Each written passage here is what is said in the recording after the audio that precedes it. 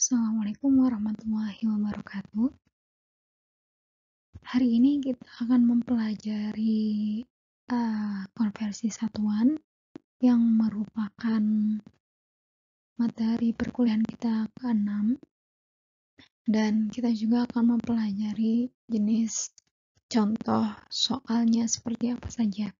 Sebelum kita mulai, marilah kita awali perkuliahan pada hari ini dengan bacaan basmalah. Bismillahirrahmanirrahim. Jadi pertemuan ini mengenai konversi satuan yang sebenarnya sudah kita lakukan berkali-kali. Sebelumnya kita sudah mempelajari tentang satuan dan dimensi. Silakan kalian baca lagi. Di situ juga ada sedikit mengenai konversi satuan, khususnya di American Engineering. Kemudian dimensi juga sudah kalian pelajari bagaimana mengubah eh, dimensi-dimensi uh, yang ada dalam suatu besaran. Kemudian perhitungan kuantitatif juga sudah kita pelajari sampai dua pertemuan. Nah, jenis-jenis konversi. Jadi, apa saja sih jenis-jenis dari konversi satuan itu karena banyak sekali kita gunakan uh, bahkan dalam kehidupan sehari. Nah, kalian pasti ingat konversi ini. Ini sudah kalian pelajari dari mungkin dari SD sampai SMA. Kita gunakan lagi uh, di kuliah ini bahkan nanti ketika kalian kerja juga banyak digunakan dalam kehidupan sehari-hari juga banyak digunakan. Ini yang paling mudah adalah konversi satuan panjang, kemudian konversi satuan berat. Tinggal uh, kalian pasti sudah hafal tangganya. Kalau ke bawah kali 10, kalau ke atas dibagi 10 dan sebaliknya. Uh, misalnya dari kilometer ke uh, hektometer ke dekameter, meter, dan seterusnya. Kemudian begitu juga di satuan berat, tinggal kalian mau dari mana ke mana. Yang bisa dikali, bisa dibagi. Atau satuan panjang yang lain, jadi selain tangga tadi, kalau kalian tahu di berbagai dunia misalnya ada yang uh, menggunakan feet, ada yang menggunakan yard, tinggal dikonversikan saja.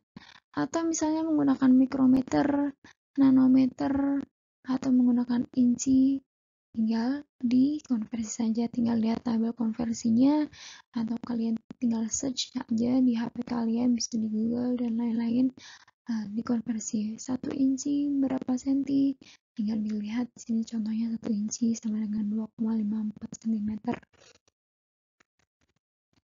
satuan panjang jadi ini satuan panjang bisa kalian uh, lihat yang selengkapnya di slide-slide sebelumnya.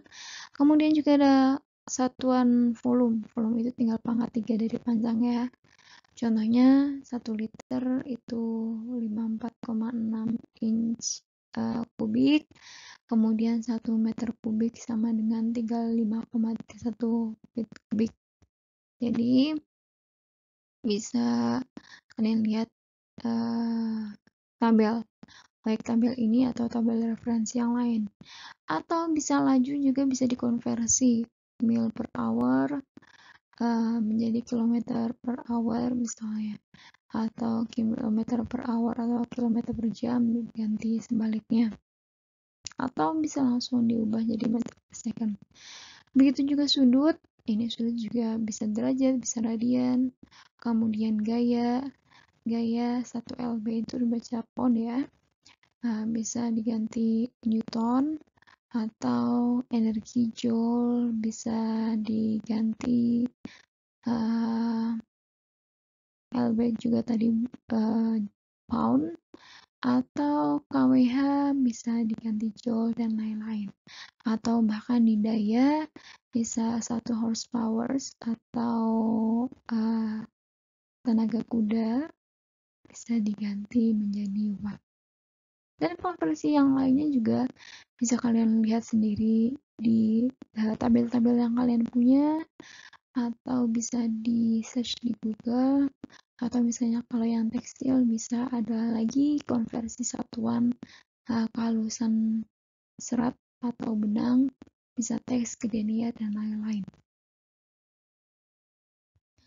Kemudian konversi suhu ini juga yang paling sering uh, kita gunakan kalau kemarin uh, ketika kalian awal masuk kalau tidak salah pernah mengkonversi suhu. Jadi um, bisa di sini dari Fahrenheit dikonversi ke Celsius atau Fahrenheit ke Kelvin. Uh, jadi kalian tidak perlu menghafal, lihat konversi ini langsung saja bisa. Atau misalnya dari Reaumur, Celsius, atau dari Reaumur mau ke Fahrenheit dan lain-lain. Jadi yang di sebelah uh, sini yang vertikal itu yang suhu awal kemudian yang horizontal itu yang suhu yang ditanyakan atau suhu akhirnya yang mau dikonversi. Kemudian eh, kita akan mempelajari tentang cara konversi.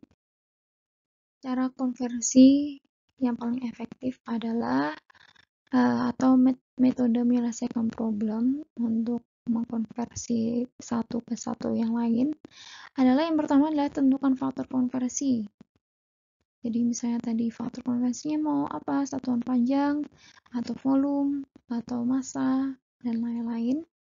Kemudian yang kedua masukkan unitnya. Kemudian yang ketiga cancelling atau uh, coret istilahnya seperti itu. Supaya lebih paham lagi tiga step ini, kita langsung saja ke contoh soal.